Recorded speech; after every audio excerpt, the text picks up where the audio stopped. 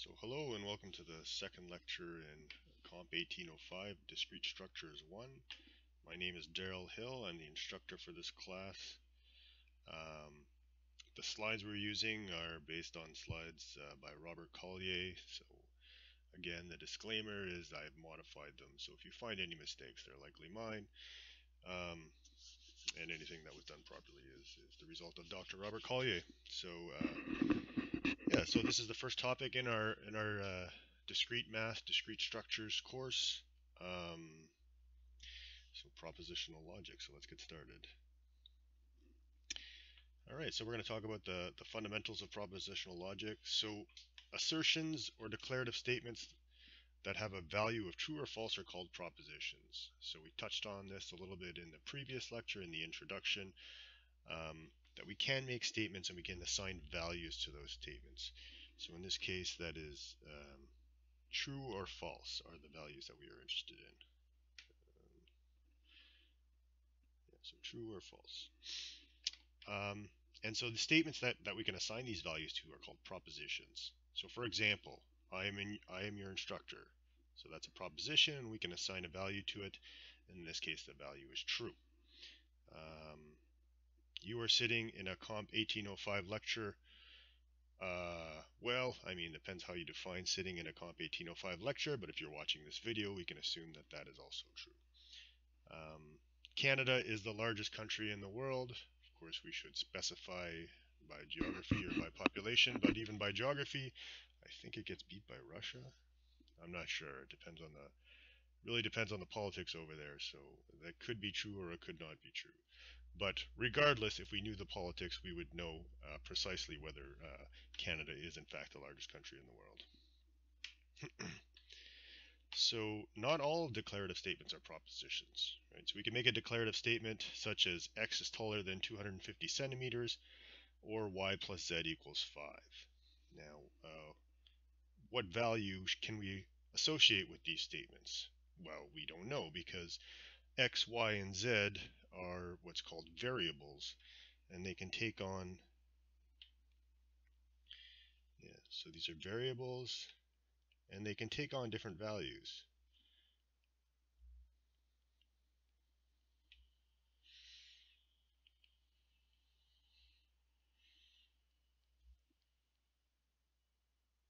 Right so unless we know the values we can't assign um, truth values to these to these statements. Unless we know the values of x, y, and z, um, we cannot say that x is taller than 250 centimeters. We don't have enough information at that time. So they're not they're not propositions. Uh, we'll come back to that a little bit later, though. There are ways to to work with variables. um, so speaking of variables in math, we can assign values to a symbol, which is a variable. So we can say x equals 16. Uh, you see this in computers a lot too. If you've done any programming up to this point, then you've probably most likely used variables. um, so we can do the same thing with propositions. So we can assign them to a variable. So we can say y is equal to the proposition, it is raining today, and this can help make logic expressions easier to work with. Um, a proposition that cannot be divided into smaller propositions is called primitive or atomic. Um, so in this case, it is raining today is a primitive or atomic proposition, since we can't really say that um, it's a combination of, of more than one truth value. It has exactly one truth value. So that's a primitive or atomic. It's like a single value in math. So uh, 16 or x is equal to 16 is a is a primitive uh, expression. Um, and in math, we can build complex expressions. So in this case, uh, 3 squared plus 16 is it's still it's a math expression, uh, but it's more complex because we've used operators like plus, minus, uh, multiplication, and division. And similarly, uh, in propositional logic, there are logic operators that we can use on atomic propositions to build up uh, more complicated logic expressions. uh, yeah, so you may find that arithmetic expressions and logical propositions seem similar um, because it's they are both uh, a branch of math, basically. And uh, the branch of math that we are working with um, with propositions is called propositional logic, right? So just as so arithmetic expressions can be sub subjected to unary operators uh, like negation, so negative 5. That's not I'm not combining that with another with another number. I'm just saying that the 5 is negative. and we can connect uh, arithmetic expressions with binary operators. Uh, we call them connectives, so addition, division, etc. So 2 plus 4 is a, is a math expression of two atomic math expressions that are, are combined with binary operators. Logical expressions also have unary and binary operators. So we'll see what that is. So if we have a proposition A, uh, then A must have a value of either true or false. Oop. -huh. Spoiler alert. Similarly, uh, so if A is a proposition, then we have uh, what's called uh, so a, a, logical not or a negation, if you will.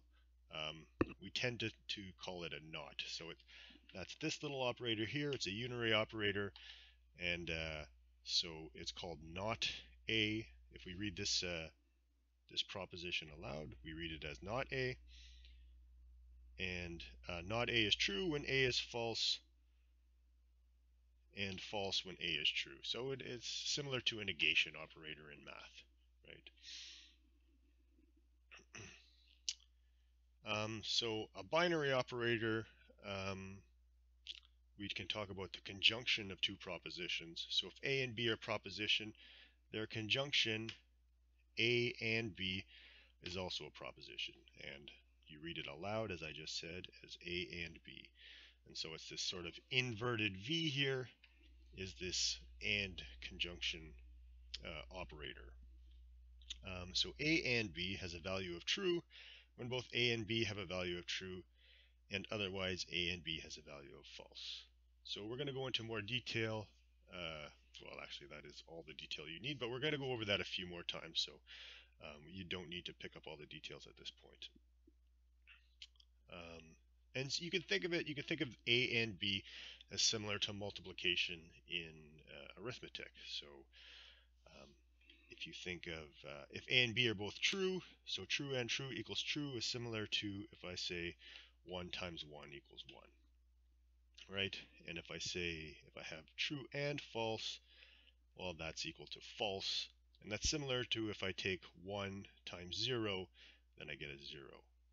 And the same thing with false and true um, is you could think of it as 0 times 1. And false and false, of course, uh, 0 times 0 gives you 0. So as a, you know, a quick and dirty little heuristic, you can um, think of the logical AND operator as the uh, similar to uh, multiplication. Um, there's also what's called an OR operator. So if A and B are propositions, their disjunction a or B is also a proposition, and we read that aloud as A or B, as you just heard. So A or B has a value, value of false when both A and B have a value of false, and otherwise A or B has a value of true. So if A is true or B is true, then A or B is true. But if neither of them are true, then it's false. And they can both be true as well. So this is a little more of a stretch, but it, it's still similar to math in the sense that if we consider true equal to 1 and false equal to 0, then A or B is similar to addition, but, uh, you know, we, we cap the maximum value to 1. All right, and we could think of this OR operator as uh, logical OR operator is similar to uh, the math operation of of plus, although it's not exactly. It, we're in a sense uh, putting some some limitations on our maximum values. Um, so it's not an exact, uh, it's not the perfect analogy, but uh, you know, if you stretch your imagination a little bit, it'll it'll work good enough. So if we say that A has a value of true and B has a value of true, then A or B is equal to true. And we could think of it as similar to 1 plus 1 is equal to Uh, in this case, we say 1, but really what we, we mean is not 0. So true or false, if a is equal to true and b is equal to false is equal to true, that's similar to if we say 1 plus 0 is equal to 1. So as long as um, either a or b is equal to has some value other than 0, then when we add them together, we get some value other than 0. Um, and the only time that we get a value equal to 0 is if both of these are equal to 0. Okay. Um, so yeah, if you think back to your um, high school or elementary school days, I don't know, those were a long time ago for me. I don't remember exactly where I saw this last. Um, most likely elementary school. Um, but uh, yeah, you have these what are called the times tables, right? Um, so how it works is I take uh, if I want to know 3 times 3, well 3 is here and 3 is here, and so I follow uh, their intersection and I find that 3 times 3 equals 9. So I can, if I want to know if I have a finite set of numbers and I want to know uh, the the values of multiplying them together, I can make a table and then uh, you know just fill it in. So 2 times 2 is equal to 4. Uh, 2 2 times 1 is equal to 2, etc., etc. Um, yeah, so multiplication tables specify the result when a binary operator is applied to the left operand. Is applied by the row, and the right operand is applied by the column. Okay, the tables are unfortunately limited because the collection of possible operands, that is, numbers, is infinite. So we can't um, we can't take an operator like multiplication and build a table that's comprehensive that gives us the answer to every possible uh, you know every possible combination of two numbers. Uh, we can't make that that table. We can, as long as we take a finite set of numbers we can build it. But uh, the set of numbers is infinite. So the set of possible values for each operand is infinite. However in propositional logic, the collection of possible values of our operands is finite. So we have true or false, right? So um, in math, an operand can go from, well, if, if, we stick to the positive numbers, let's say, stick to the uh, the whole numbers, we can go from zero to infinity. Um, but here we can only have true or false, no matter what. So there's only two, so we can create a finite table describing the behavior of each operator. As long as we have a finite number of operators in our logical expression, um, we can build a table that gives us every possible combination of values. And these are called truth tables. So you can see a lot of these. so a truth table has one column for each operand. So in this case, we have A and B are operands. So it has one column for A and one column for B. And then one additional column for the operator. So if our expression is A and B, uh, then we have uh, this second column over here that takes the, the combination of A and B, given whatever values I have over here. So if I have, say, true or false, then A and B would give me uh, false. So each table has 2 to the n rows, one for each possible combination of truth values for the operand. So n, what do we mean by n? Well, um, n is the number of operands. so in this case, we have uh, 2 to the power 2 rows because um, A and B are two operators, or operands, sorry. If we had A, B, and C, then we would have 2 to the 3 rows.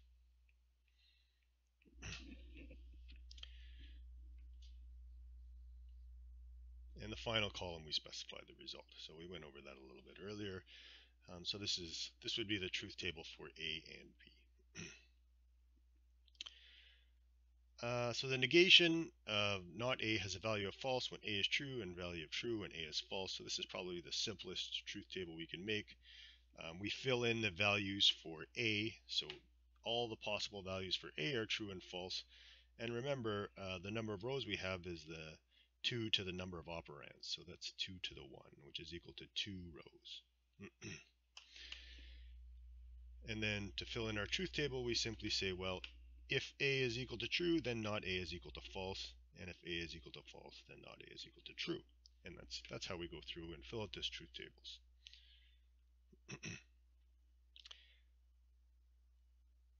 so yeah, the conjunction A and B has a value of true when both propositions A and B have a value of true. Otherwise, A and B has a value of false. So that's uh, so if I filled in all the possible values for for A and B, we can see that we have uh, true, true, true, false, false, true, false, false. And uh, so there's uh, sort of a, um, it's easier if you if you do it in that sort of predictable pattern.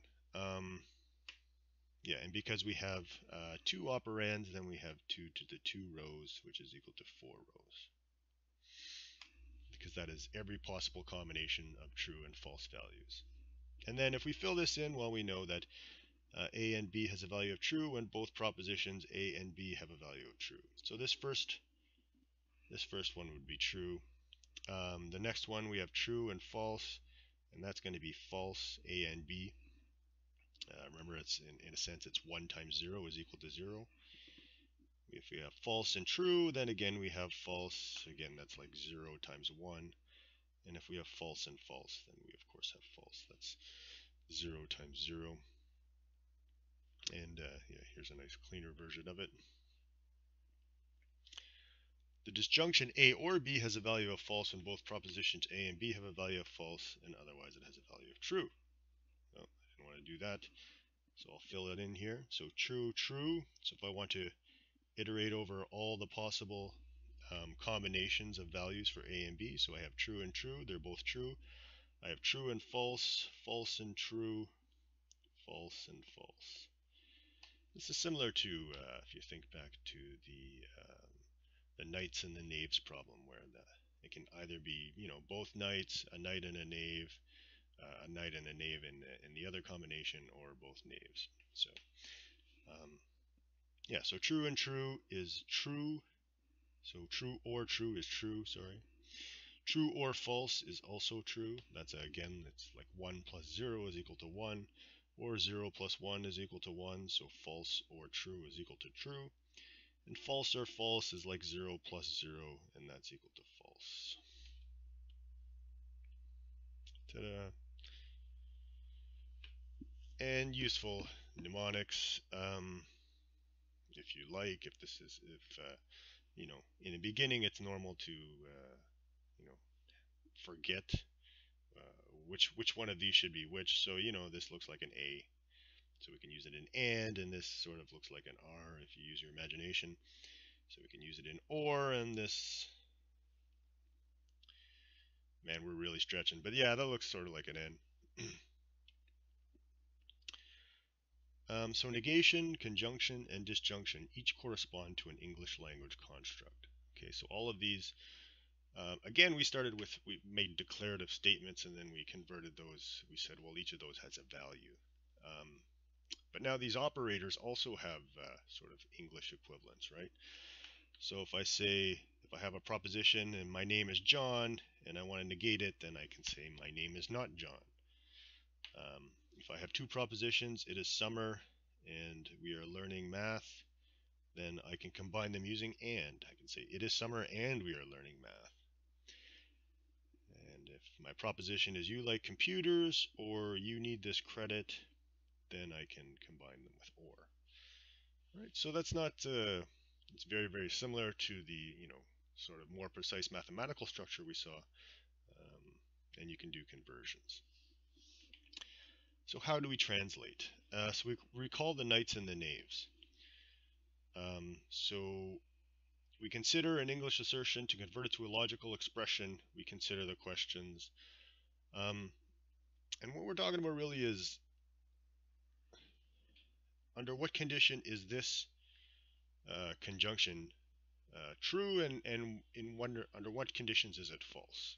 And really it follows the same sort of pattern that we saw with our um, truth tables. So uh, if I'm using an OR and both of my propositions are true, then my my conjunction of those two propositions is going to be true, or disjunction, sorry.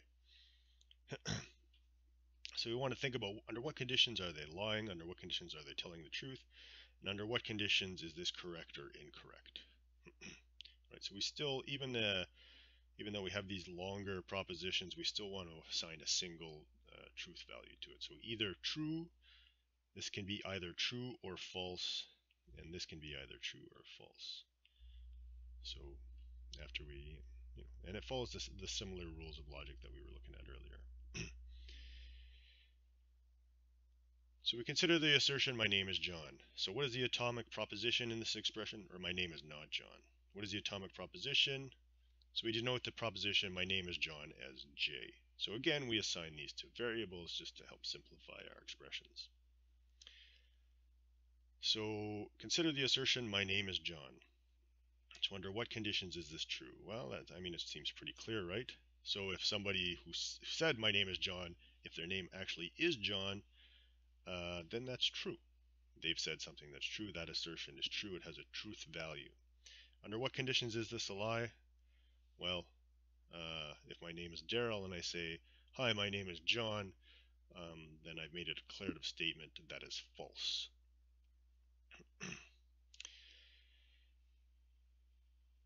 So yeah so now we have this we have our our proposition and we have uh, and that corresponds to this this this proposition this assertion.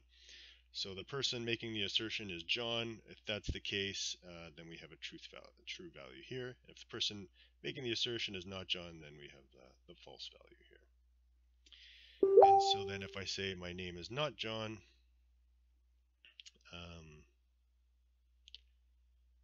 then I simply take this true value and I switch it to false or this false value and switch it to true, right? So if my name is Darryl and I say my name is not John, um, well then my name is John has a value of false, but my, if I say my name is not John, that has a value of true. I've actually made a statement that has a truth value to it. So consider the assertion, it is summer and we are in math class. So what are the atomic propositions in this expression? So um, again, as a hint, I've pointed out sort of the, the conjunction, the, uh, the binary operator that we're using. Um, so if we divide it roughly, you know, to the left of the end and right of the end, then we have uh, a proposition, it is summer, and we can denote that as S and a proposition we are in math class and we will denote that as M.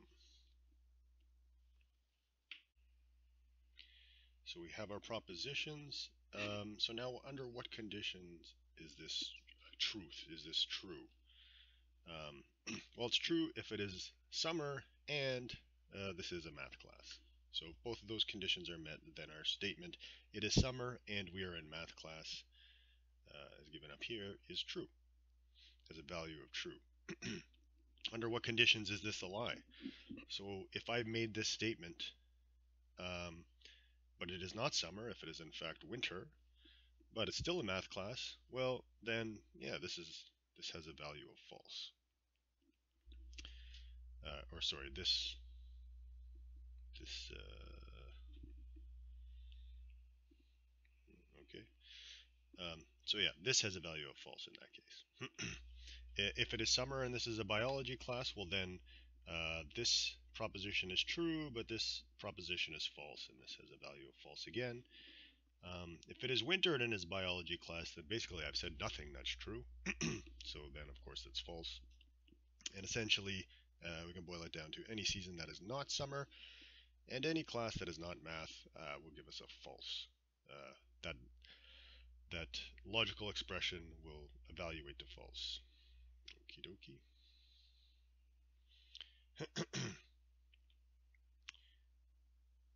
All right, so this is the truth table for that uh, logical expression that we just had um, using this conjunction operator. Um, so S is, it is summer, so that's this, and uh, M is, we are in math class, Um, so if it is summer in math class, then we have true and true. Uh, if it is summer but it is not math class, we have true and false. It's not summer, if it's winter or fall or spring, um, then we have a false here, but we are still in math class, and that's true. And if it is not summer and not math class, then we have false in both cases. Um, so using our AND logical operator here, which corresponds to this um, English sort of operator, um, we can evaluate these things. So if it's if it is summer and his math class are both true, then the statement it is summer and we're in math class is of course true. Um, and in every other case, um, at least one of these propositions uh, has a value of false, which means that all of these, all the rest of these evaluate to false because at least one of these was false. so let's consider another assertion. So you like computers or you need this credit. Um, hopefully you like computers. Maybe it's both. Um, so what are the atomic propositions? Well, I underline them if you sort of take everything to either side of the or. and then we can say, well, we can denote you like computers. So what are the atomic propositions in this expression? Well, uh, we'll say that you like computers is L for like, and you need this credit as N for need. So uh, again, we are assigning these two variables to simplify our, our final expressions. um, so here's our assertion, you like computers or you need this credit. Now under what conditions is this correct or true? Under what conditions does this have a value of true? Well, if I like computers, then uh, then that's true. Or if you like computers, that's true. So if you like computers or you need this credit, uh, and it's true that you like computers, then this assertion becomes true. Uh, if you need this credit, then whether or not you like computers, you do need this credit, so then this assertion, you like computers or you need this credit is true. Um, and if they're both true, then obviously you like computers or you need this credit is true, then that's that evaluates to true as well. So now you have to be a little bit careful with English because sometimes in English when we use or we mean something different. We mean, you know, if I say uh, you can go to a stoplight, you're at the stoplight, you can turn right or left. Well, well, I don't mean both. Um, you really have to choose one or the other. Um, so in English, it's not always perfectly clear, so you have to pay attention to the context a lot of the times. so, but getting back to our, our example here, if you like computers or you need this credit, the only way it could be false is if you don't like computers and you don't need this credit. If both of those are satisfied, then this assertion is false. and uh, yeah. If you don't like computers or you don't need this credit, then I don't know. Maybe like math. Um, so again, just explicitly sort of taking this English expression and then making a truth table out of it based on the propositions uh, you like computers or you need this credit um, we can say that uh, it's true that I like computers and it's true that I need it. Um, maybe I like it, but I don't need it.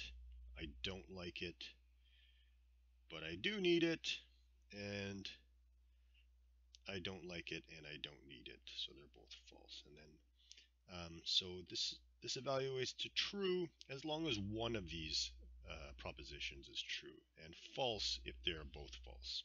So that's how the logical OR operator works.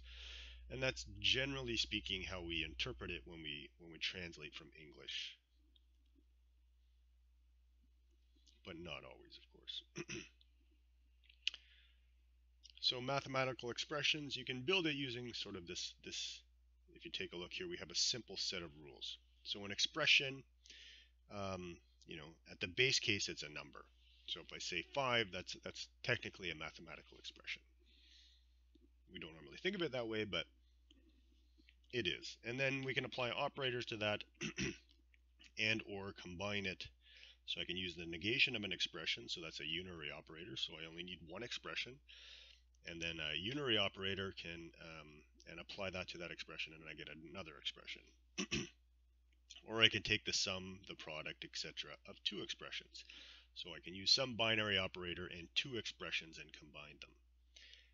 Um, so written sort of formally, um, you know, if we have a number, that's an expression.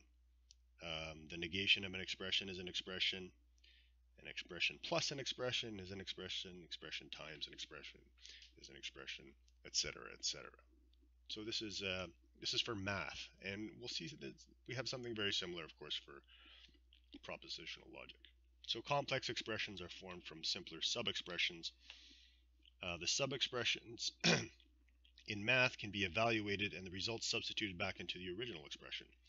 This is formally known as reduction, and, and I'm sure that's something that you're, you're familiar with. So we take this example. So this is a mathematical expression, and it's basically a bunch of sub-expressions combined into a larger, more complex expression. Um, and we know basically the order of operations and, well, everything's spelled out explicitly here with parentheses. So even if we didn't know the order of operations, we would know that, hey, we would have to evaluate this first before we evaluated this because the 8 minus 3 is in, is in brackets. So if I had something like, so I could evaluate that to 5 plus 1, and then divided by 3, and then plus over here, um, 7 minus 4, I could take it as a 3 times 2. Alright, so I, have evaluated some of the sub-expressions and then I've substituted those back into the original expression. And I've gotten, uh, and I've reduced the original expression. So now I can look in these brackets here, I have 6, and then that's to be divided by 3, and then the 3 times the 2 is equal to 6. Um, so 6 divided by 3 is 2, plus 6, and uh, that's equal to 8. So this this entire expression through this process of reduction can uh, we can come down to a single value of 8. let's see if I got that right. Hooray. All right. Um, similarly, uh, we can build these logical expressions. So every logical expression is either a truth value, i.e. true or false, um, and that applies to, I mean, that's, so when we say truth value, we also mean proposition, because a proposition um, has a truth value to it. All right, so when we say truth value, we're including, uh, you know, atomic propositions.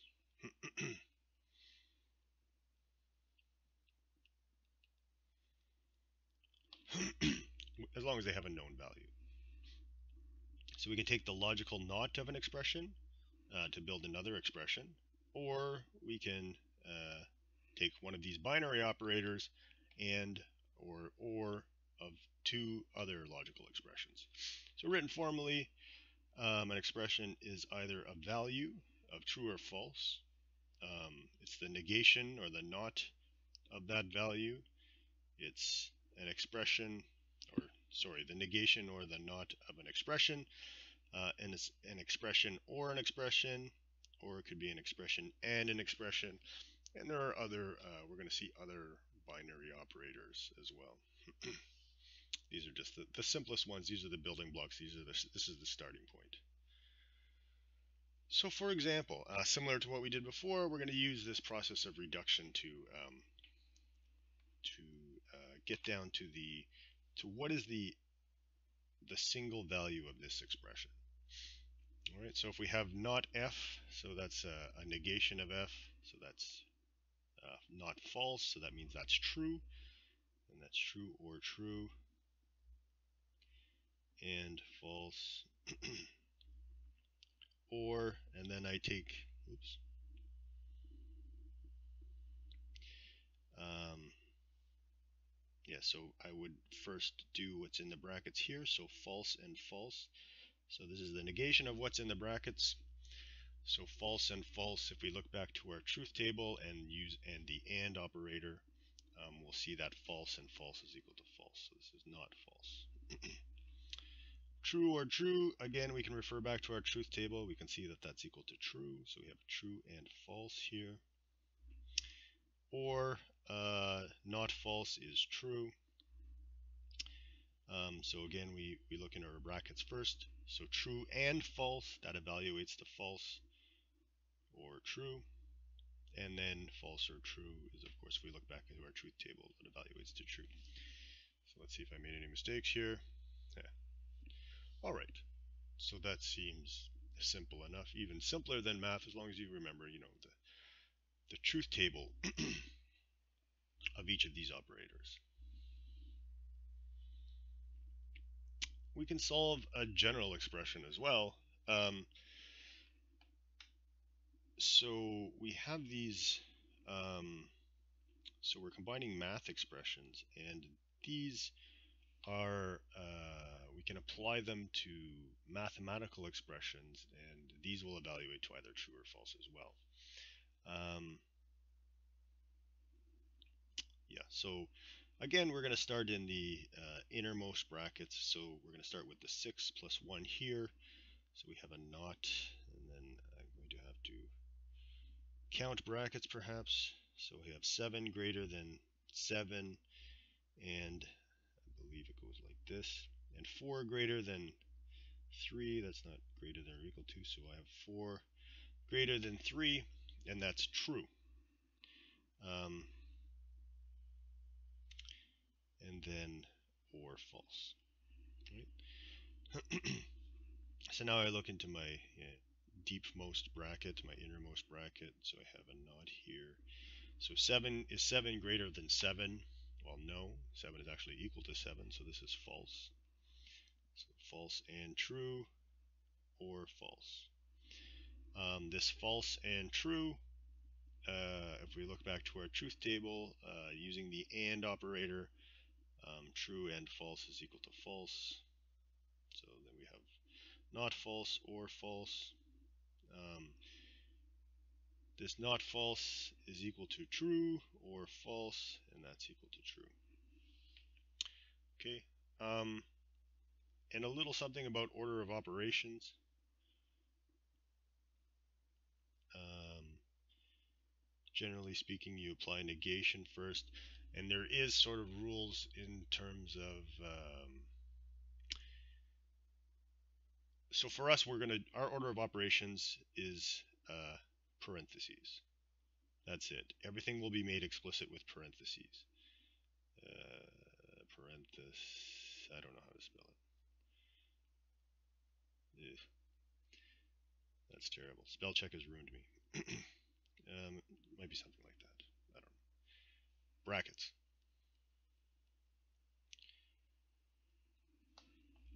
Um, we're going to make everything explicit with brackets, okay? So now there are um, sort of schools of thought on this where you would do, uh, I don't remember whether it's the and or the or first. So I think you follow the sort of, when we, when we um, likened it to multiplication, I believe you do and first in terms of order operations, and then or second. But we're not doing that in this class because um, we are um, simulating logic circuits. Um, and logic circuits, uh, the order of operations is explicit based on how the circuits are laid out. So there is no, you know, um, agreed upon order of operations. You have to be explicit with your with your brackets because of, of what you're simulating. Um, so a lot of programming languages, when you do these, when you build these sort of logical expressions, they do have a specific order of operations and I think it's and first and or second, uh, but you'd have to look that up. Um, so a lot of people follow that convention. We do not. Okay, everything will be made explicit with brackets, and generally speaking, um, negation goes first uh, if if you're in doubt, but uh, you should never be in doubt. All right, true. Did I get that right? Hooray! so um, the atomic expressions in each of these, you know, expressions had a definite value, so we can always evaluate them. Um, if we if we have a variable though that can take on different values, then it's it's not possible to, to evaluate. So I can't evaluate this expression because I don't know what x is. Um, so we can't reduce it. However, maybe we know that x can take on a finite set of values. So in this case, maybe x is 1, x is 2, or x is 3, but x is definitely one of those values. um, now we can actually enumerate all the possible solutions. right? So if we had an expression that had a, a variable in it, um, and that variable had a finite set of values, then we can say, well, you know, we can drew, draw our little our table and say, well, if x is equal to 1, well, then this is going to be equal to 6, for instance. And then we can we can evaluate that for each of these.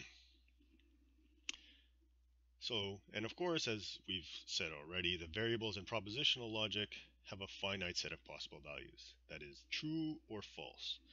So it is always possible to enumerate all the possible solutions to an expression. So, um, you know, if we have our, our variables, uh, earlier we did, uh, you know, J for my name is John, or N for you need this credit, um, even if we don't know explicitly the, the value of those propositions, we know it can only be one of two things.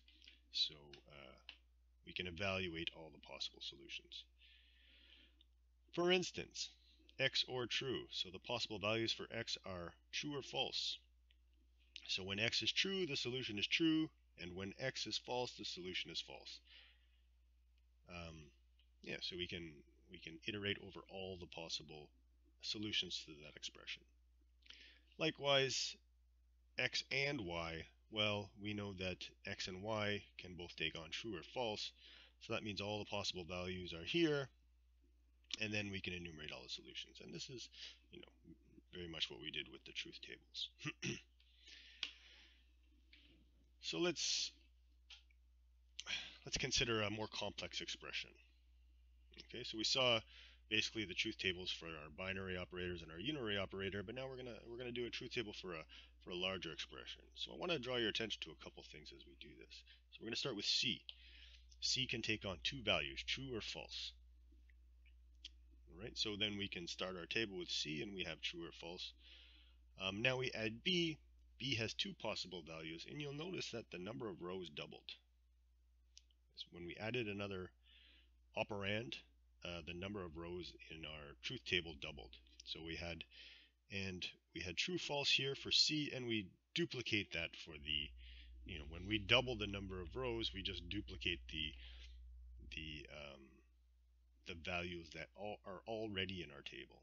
And then B takes on, you know, true, true, false, false. So that we get every combination of true and false values.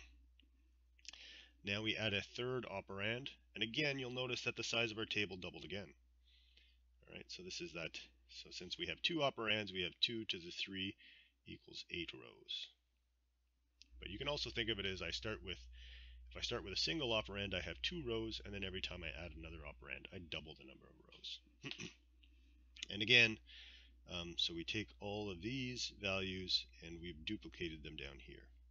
And then we've gone through all the possible true cases for A and then all the possible false cases for A.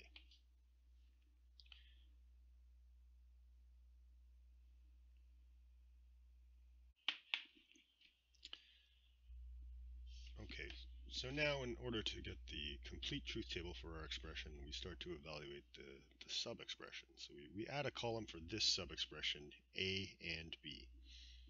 Okay, and uh, it's quite simple to do this. We just basically follow the same rules that we've been following already. So we take the value in A and the value in B. so we know that true and true gives us true. Okay, and we can ignore C in this case because it's not part of this sub-expression. So then we look again, A and B. Uh, in this row, they're both true. So for this row, we're gonna we're gonna put a true here. Then we have true and false. That gives us false true and false, that gives us false again. False and true, that gives us false. False and true gives us false. And then false and false. And false and false again. so that's our column for A and B. And you'll notice a lot of, there's, uh, each of these is repeated. Um, uh, so, so these two are repeated here, and then these two are repeated here. Um, but for each of them we have a, a different value for C. So every time, uh, uh, so each of these rows is distinct even if uh, the little sub rows that we use for A and B are not. Now when we do our next column, um, in order to save space, we can we can introduce another variable d, and that d is equal to a and b, and then we can evaluate our d or c. So if we look at here, if we substitute d in for a and b, uh, then we get d or c as our as our new expression. Um, so what that means is that we're going to take the value here and we're going to apply the OR operation to the value here. So true or true is equal to true, false or true is equal to true, true or false is equal to true, uh, false or false is equal to false, true or false is equal to true, false or false is equal to false, true or false is equal to true, and false or false is equal to false.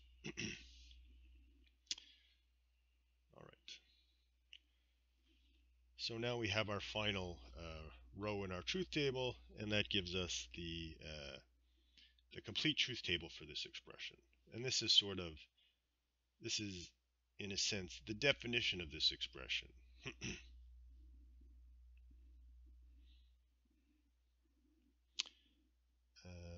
And we're going to see actually in later classes that uh, we can use this final column to establish uh, equivalent expressions.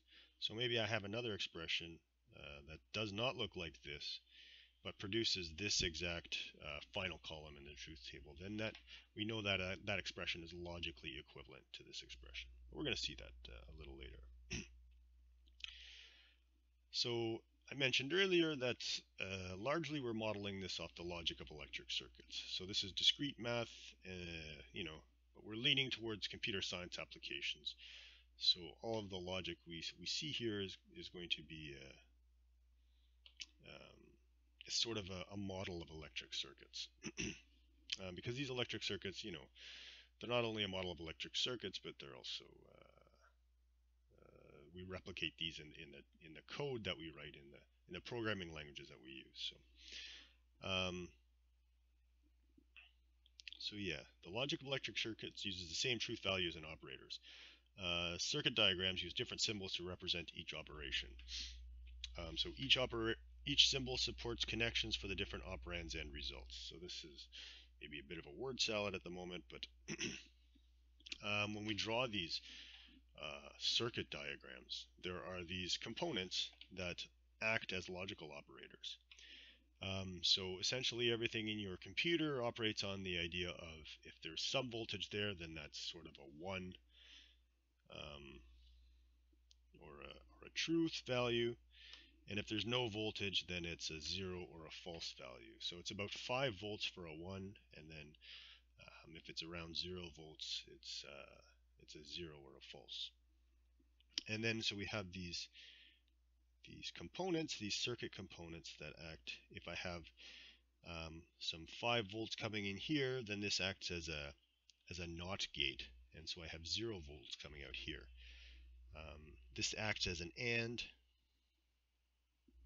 So if I have, say, uh, 0 volts and 5 volts, then I would get 0 volts out because I'm ANDing uh, false and true in a sense. However, if I had 5 volts coming into both of them, um, then it would output uh, it would output 5 volts.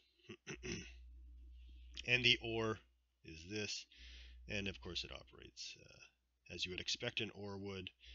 Um, if I have 0, if either one of those is 5 volts, then I get 5 volts out the output.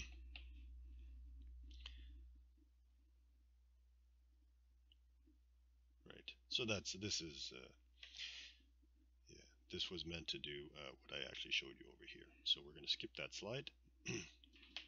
so now you can build these circuit diagrams. Now you can see hopefully uh, why we do things expressly with parentheses because um, the order of operations is going to be enforced here. The voltage flows from A, B, C, and D, and it can't pa possibly pass through this AND before it passes through these these two OR gates. So in a, in a, in a circuit diagram, um, the order of operations is very explicit. So uh, in this class, we use um, parentheses uh, whenever possible to sort of mimic that.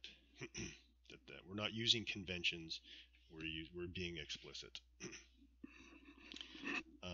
but yes, so this this can actually we can think of this as a so the you know um, the line A, B, C, and D they each have some voltage value, and we can evaluate what this logic circuit outputs basically. So we want the output over here. um, so to do that, we can sort of uh, similar to what we did before, where we had um, did we have A and B or C, and then we combined A and B into D or C. Uh, we're going to do the same thing here. We're going to have these intermediate um, variables that we can assign these, these intermediate values to. So if we have A, and once it passes through this, this logical NOT gate, uh, then we're going to call it E. So NOT A uh, is equivalent to E. And so now if we look at this OR gate here, now we have F is the combination of E and B. So it's E or B is equal to F. Um, and we look over here to this OR. So now we have G, which is the combination of C and D. So we have C or D is equal to G. and we have H. So now this is an AND gate and we're ANDing the value at f with the value at g so h is equal to f and g so h gets f and g um, and then h of course this is uh, not h over here because we passed through this NOT gate um, so that's our result and that uh, yeah um, so we call that our result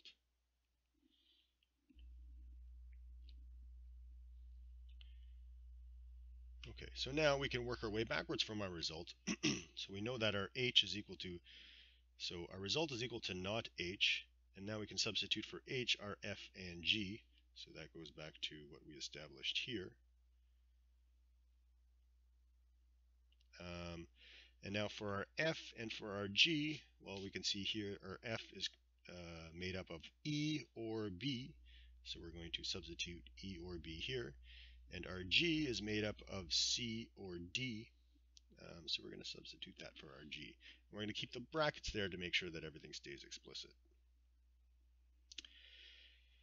Finally, uh, we can look at our E and we can substitute our not A for E. So that's where we get that. And now we have this final expression. So our result is equal to this expression. So that's this this, this result here. All right, and so you can kind of play with that. Um, so here's a couple of things you might want to look at. This is a, a website. Uh, I'm not that familiar with it. Um, that's from Robert. Um, so it's both of these basically are games that are based on um, predicting the output of these circuits. So you can you can try them out. Uh, they're not that difficult. They're actually quite quite easy. Um, and this is uh, if you go into the the App Store in Google, uh, there's a whole bunch of them there. And I'm sure if you Googled Logic uh, Logic Gate apps, then um, uh, in the uh, you know iPhone store or whatever it is, I'm not really in the the uh, Apple ecosystem, but so yeah, whatever the the iStore or App Store. I think it's the App Store. Um, you, you can go, Google these Logic Gate games as well, and you can, uh, yeah, so they're a good way to get some practice and stuff. And um, that's it for uh, Introduction to Propositional Logic.